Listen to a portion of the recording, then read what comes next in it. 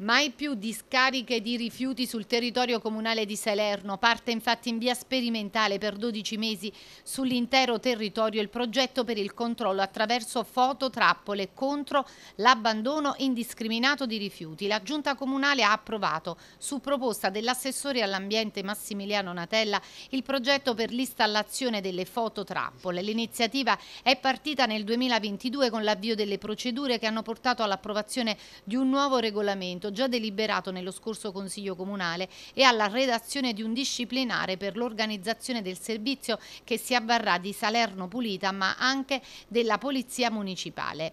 Le installazioni partiranno fin da subito con la supervisione tecnica del settore sistemi informativi e l'ausilio della Polizia Municipale. Gli impianti saranno mobili e potranno essere collocati a seconda delle criticità riscontrate sul territorio comunale. Da oggi finalmente possiamo partire con questo progetto che ha richiesto un percorso un po' lungo prima per l'approvazione della modifica appunto di un regolamento del Consiglio Comunale e poi per l'attuazione la, di un disciplinare che prevede ovviamente la tutela della privacy e una serie di altre circostanze che sono collegate.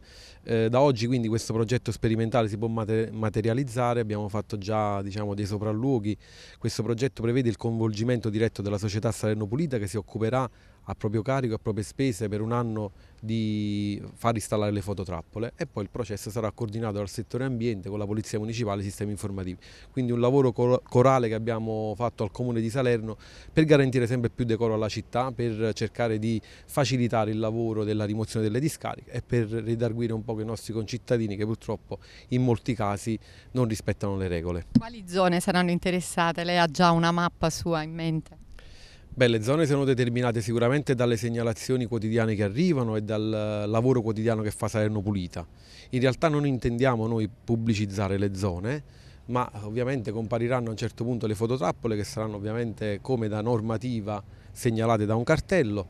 Ovviamente le fototrappole sono mobili, quindi a seconda delle circostanze e delle esigenze della città potranno essere spostate nell'arco di 12 mesi. Ovviamente questo per noi è un progetto sperimentale innovativo, ma rintendiamo ovviamente per il futuro eh, come dire, prorogarlo, augurandoci che le segnalazioni siano sempre più ridotte e quindi che il fenomeno si possa ovviamente contenere senza l'ausilio di questi mezzi.